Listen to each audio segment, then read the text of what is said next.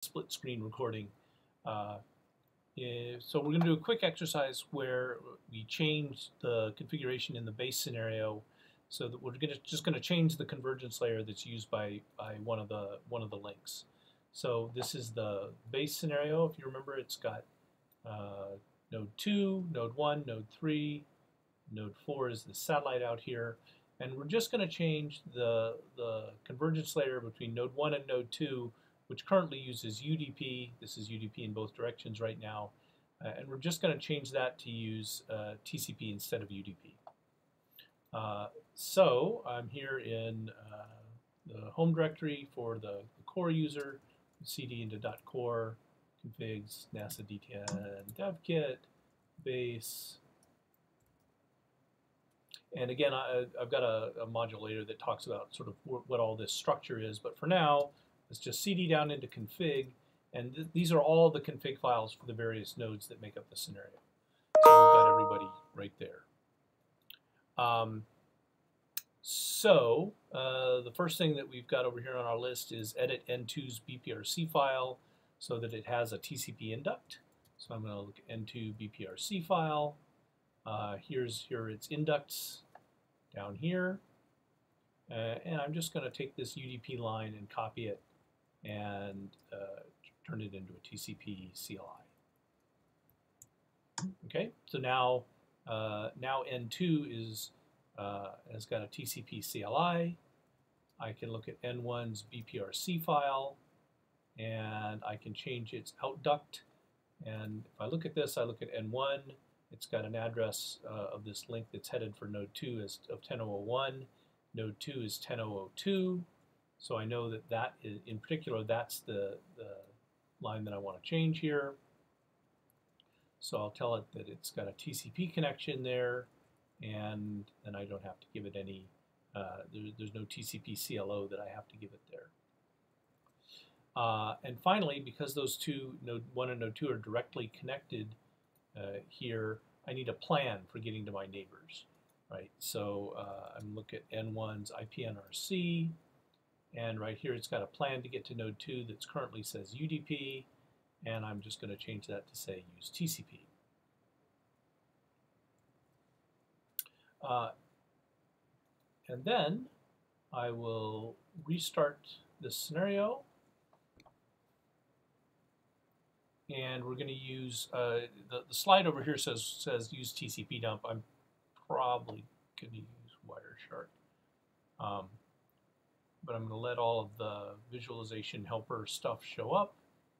Uh, and in particular, here's bping, and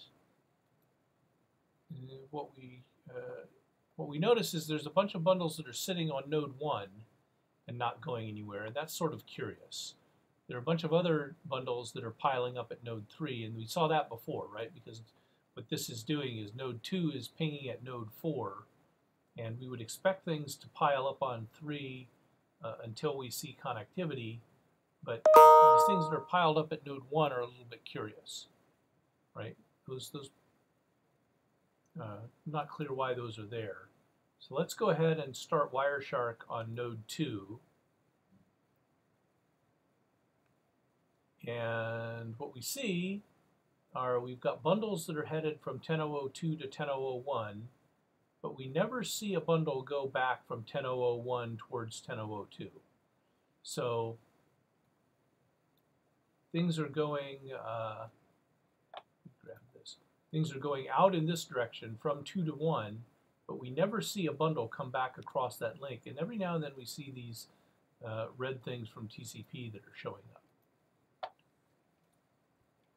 Uh, so this uh, testing and verifying, we don't really have to start the bping because uh, that got started for us automatically. Uh, and we can use Wireshark to look and, and see these things going on. Uh, but what's going on? So there are a couple places to go.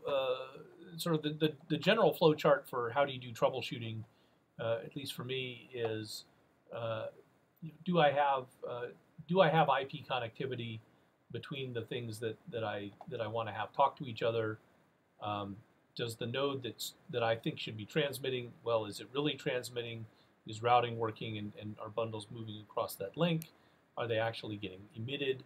Uh, and then go figure out what the, what the receiving node thinks is going on. Uh, another thing that we can look at uh, is if I double click on node 1, then I have to go find the, the terminal. Uh, if I double click on node 1 and I do an ls down in here, uh, there's a file in here called ion.log. This is ion's log file. Uh, typically uh, very useful for doing debugging. One of the first things to do is look in the ion.log file. So these are uh, a bunch of information uh, things that are showing up in ion uh, that all looks like startup is going reasonably well. Uh, there's a duplicate endpoint because I have part of my configuration, some of it sort of overlaps with itself. Um, and then, move this over a bit. Uh, we've got this line here that says, uh, can't connect to TCP socket, connection refused from 10002. And that looks kind of bad. Uh, and it's related to TCP, which is the thing that we were trying to change. And if we go look over here, 10002 uh, is the uh, is node 2, and if we're not able to form a TCP connection there, well, we're not going to be able to flow bundles over that TCP connection. Um, and another thing that we can do on node 1, uh, we can type BP stats. Uh, BP stats cleverly doesn't have any output that you can, that you can see immediately, uh, but what it does do is it causes Ion to spit some stuff out into the ion.log file. Uh, and so this tells you uh, about bundles that have been uh, sourced by a particular node, forwarded, actually transmitted, actually received, uh, and, and, delivered. So what we're seeing here is uh, we're, we're, trying desperately uh, to forward bundles, and so we've received uh, 400 and a total of 452 bundles uh, of a particular size. Um, we've transmitted about 453, and if we're a node that's, that's sitting in the middle of relaying uh, bundles back and forth, uh, I, I, would actually expect to transmit more stuff than this. Uh, because we're going to have to, we're, we're going to receive bundles in both directions, uh, and we're going to need to transmit bundles uh, both both the the ping requests and the acknowledgments uh, that should be coming back. Uh, and again, when we looked in Wireshark, this is the kind of thing we were seeing, and in particular, you know, we see these these things from. Uh, uh, uh, if I fire this up, we, we can, if we if you look, what you'll see are times when Node 1 is trying to stitch up a TCP connection to Node 2 uh, and it's not working. Uh, so what's going on? And the, the extra bit is, well, those instructions weren't entirely complete. There was a bit missing, and it's that N2 doesn't know about the TCP protocol. We gave it a TCP induct, uh, but we didn't actually tell it that TCP was like a protocol that it was supposed to know about and, and be able to use. So if I shut this down I can go in here now and look at uh, uh, oops, into uh, BPRC file, and lo and behold, yeah, we've got protocol for UDP, we've got a protocol line for LTP, but we don't have anything for TCP. So I'm going to just take this UDP line and duplicate it there, and then fire this off again. And what I expect to see now is that uh, things will be working and we'll be able, if we TCP dump or use Wireshark, we'll be able to see bundles going in both directions. Uh, one direction using TCP and the other direction using uh, UDP. So let's see if that actually worked. Well, okay, first, we can see that, that ping is actually working, so that's good. Uh, so something went right. And then if we look in here, I'm going to go ahead and stop this.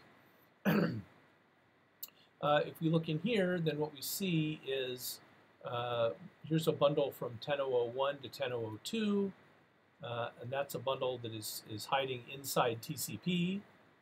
And if we look for a bundle from 10002 to 10001, uh, we see that that's a bundle that's sitting inside UDP.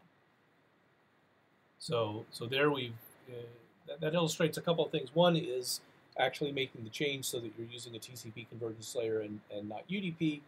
Uh, and uh, also that if you get the configuration wrong on, on one of those ends, then things will you know, things can stop working and it, it can be, sometimes it takes a little bit of time to go suss that out and, and figure out where the, where the, where the issue is. We'll talk more about what's in the ion.log file and, and, and sort of debugging and, and maybe using some of the watch characters uh, to figure that out uh, a little bit later.